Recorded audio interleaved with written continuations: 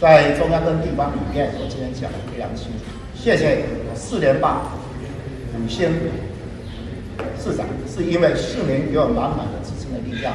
让我能够走到今天，我非常非常的感恩。当然，这里面我也发现很多的问题，就像杨明县长刚刚自己也有新的说法，这里面中央政府必须听进地方政府的声音，唯有解决地方的问题。中央才可以让人民感受到中央是听进从下到上的这个声音。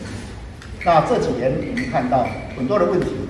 中央不但没有帮地方确确实实把所有问题解决，反而在很多问题上，在中央产生了更多的一倍、百倍的担心，甚至整个政府对人家很多的贴金以及管理上的指引。让民众失去对政府的信心。那中央必须跟地方合作，但是中央必须先以身作则以外，也要听进地方的声音，让中央跟地方一起合作。既然中央做不好，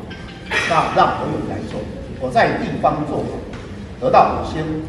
市长，是因为市民给我满满的肯定。我会带着市民给我的祝福，我会把新北市中央当中没有。对新北市支持，或者没有听进新北市的声音，就像胡慧耀一样，我也站到中央去挺身而出，为新北市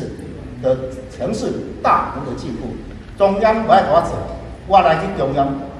啊，新北市都做较好，我新北市的市民能够快速的进步，我会用加倍奉还的态度，让新北市更进步。所以这一次出来面对所有重要问题，我愿意解决，不是只有要解决新北市。还有解决包括新竹县所有各地方县镇的所有碰到的困境，这就是我出来选举的态度。